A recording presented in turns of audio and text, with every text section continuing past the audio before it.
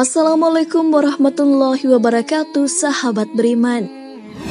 Sebagai umat Islam diwajibkan untuk banyak berdoa kepada Allah Subhanahu wa taala karena Allah Subhanahu wa taala berjanji untuk mengabulkan doa hamba yang meminta. Sebagai manusia, tentu kita membutuhkan Allah Subhanahu wa taala untuk mengkomunikasikan keinginan kita. Media komunikasi yang bisa kita gunakan adalah doa. Dalam hadis disebutkan bila seseorang hamba berdoa kepada Tuhannya dan dia menyukainya, maka Allah Subhanahu wa taala berkata, "Wahai Jibril, jangan dikabulkan dulu permintaan hambaku, sebab aku masih ingin mendengar suaranya." Jadi jangan langsung suuzon ya ketika berdoa dan belum dikabulkan. Nah, sahabat beriman, doa seperti apakah itu yang tidak dikabulkan? Ini dia ulasannya. Namun sebelum lanjut, jangan lupa klik subscribe, like, dan lonceng notifikasi untuk mendukung channel ini agar terus menyiarkan syiar Islam.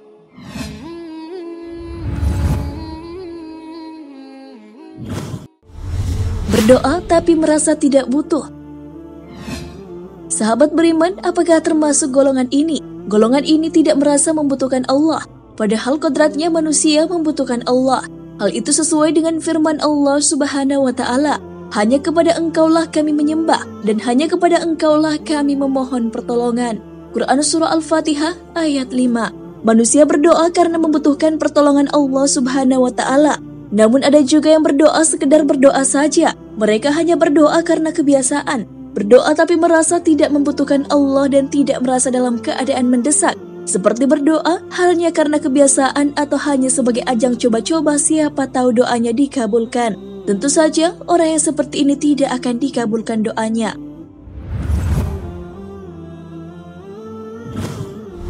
Doa orang yang tidak menjauhi sesuatu yang haram.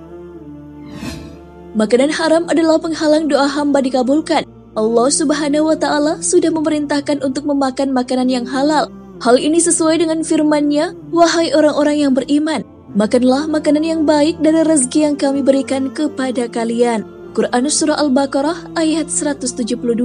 Perintah ini memberikan peringatan bahwa Allah tersucikan dari segala macam aib, celah, dan kekurangan. Tidak serupa dengan makhluk, tidak ada sesuatu pun yang menyamainya. Nah, semua yang berhubungan dengan Allah itu semua baik. Jadi Allah itu maha baik dan tidak menerima kecuali yang baik. Jadi jika ingin doanya dikabulkan, maka makanlah makanan yang halal. Hal ini sesuai dengan hadis Rasulullah SAW Kemudian Nabi menceritakan keadaan seseorang yang melakukan safar panjang. Rambutnya kusut, mukanya berdoa, menedahkan tangan ke langit dan berkata, Wahai Robku, sedangkan makanannya haram, minumannya haram, pakaiannya haram, diberi asupan gizi dari yang haram, maka bagaimana bisa diterima doanya? Hadis Riwayat Muslim Doa yang ingin segera dikabulkan kamu percayakan bahwa Allah itu maha mendengar, makanya berdoalah. Dengan kebijaksanaannya, Allah tentu tahu yang terbaik bagi hambanya. Doa tersebut dalam prosesnya ada tiga macam, langsung dikabulkan, disegerakan, atau ditunda. Sebagai hamba, tentu tidak patut meminta sesuatu dan disegerakan kepada Allah Subhanahu wa Ta'ala, karena hal tersebut seperti memaksa Allah untuk mengabulkannya. Mengenai perkara ini, Rasulullah bersabda, akan dikabulkan doa seseorang di antara kamu selama ia tidak minta disegerakan dan berkata, Aku sudah berdoa namun tak kunjung dipenuhi. Hadis riwayat Bukhari dari Abu Hurairah. Doa yang tidak diyakini akan terkabul. Jika menginginkan sesuatu haruslah bersungguh-sungguh. Usahanya harus maksimal dan doanya harus yakin kepada Allah akan dikabulkan. Allah tidak akan mengabulkan doa orang yang tidak yakin ketika berdoa. Hal itu sesuai dengan sabda Rasulullah Shallallahu Alaihi Wasallam. Berdoalah kepada Allah dengan keyakinan akan dikabulkan dan ketahuilah bahwa Allah itu tidak mengabulkan doa dari hati yang lalai. Hadis riwayat Tirmizi. Orang yang berdoa harus memiliki prasangka baik terhadap Allah bahwa Allah akan menetapkan yang terbaik bagi hambanya. Sebagai hamba juga harus bisa menerima keputusan Allah atas doa yang dipanjatkan.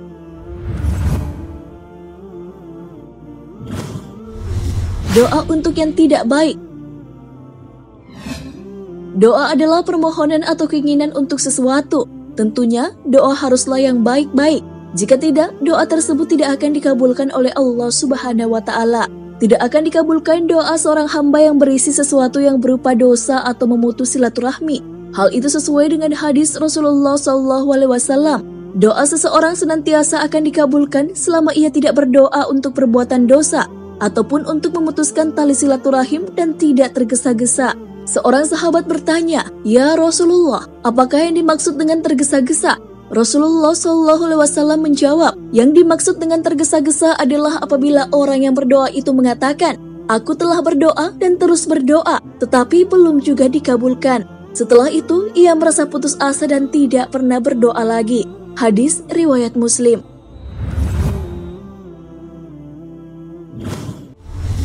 Doa orang yang tidak ikhlas. Orang yang berdoa tapi tidak ikhlas, doanya tidak akan dikabulkan Syarat sebuah doa bisa terkabul adalah tidak beribadah dan tidak berdoa kecuali hanya kepada Allah Subhanahu wa taala. Jika seseorang menunjukkan ibadah selain Allah termasuk kepada makhluknya, seperti kepada nabi atau para wali dan mengajukan permohonan kepada mereka, tentu doanya tidak akan dikabulkan dan di akhirat termasuk orang-orang yang rugi serta akan masuk neraka jahim dan kekal di dalamnya apabila tidak bertaubat sebelum meninggal. Hal itu diperkuat dalam firman Allah Subhanahu wa taala maka sembahlah Allah dengan murnikan ibadah kepadanya. Quran Surah Ghafir ayat 14 Hal itu ditafsirkan oleh Ibnu Katsir bahwa setiap orang yang beribadah dan berdoa hendaknya dengan ikhlas, serta menyelisihi orang-orang musyrik dalam cara dan mazhab mereka.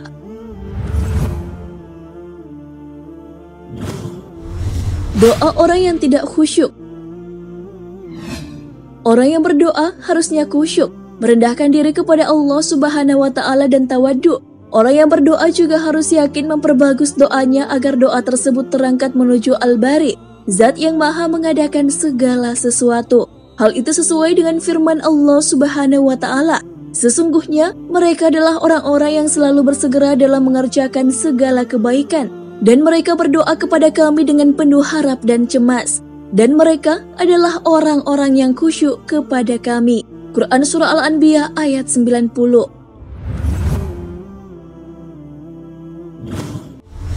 Doa yang tidak baik bagi yang berdoa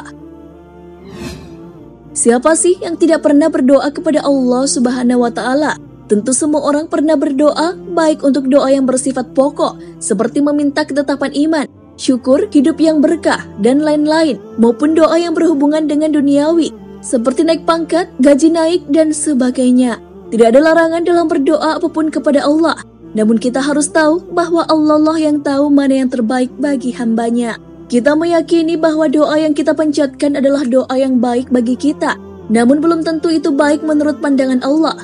Boleh jadi doa tersebut ditunda atau tidak dikabulkan sama sekali. Hal ini sesuai dengan firman Allah Subhanahu wa taala.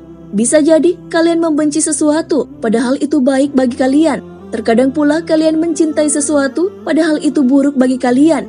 Allah mengetahui dan kalian tidak mengetahui. Quran Surah Al-Baqarah ayat 216 Doa dari orang yang tidak mengingat Allah saat senang dan lapang. Mengingat Allah bukan hanya ketika susah saja, tapi juga ketika senang atau lapang, supaya Allah juga mengingat kita ketika susah. Anjuran tersebut sesuai dengan sabda Rasulullah SAW. Kenalilah, ingatlah Allah di waktu senang, pasti Allah akan mengingatmu di waktu sempit. Hadis riwayat Termizi. Coba kita renungkan cara Allah menolong Nabi Yunus dalam ikan paus. Allah menolong Nabi Yunus karena sebelumnya sering mengingat Allah ketika lapang. Hal itu tergambar dalam Al-Quran. Maka kalau sekiranya dia sebelumnya tidak termasuk orang-orang yang banyak mengingat Allah, niscaya ia akan tetap tinggal di perut ikan itu sampai hari berbangkit atau kiamat. Quran Surah As-Safaat ayat 144 Jadi jika ingin doamu dikabulkan kepada Allah, beribadalah ketika lapang karena di saat susah Allah akan mengabulkan keinginan dan permohonan kita.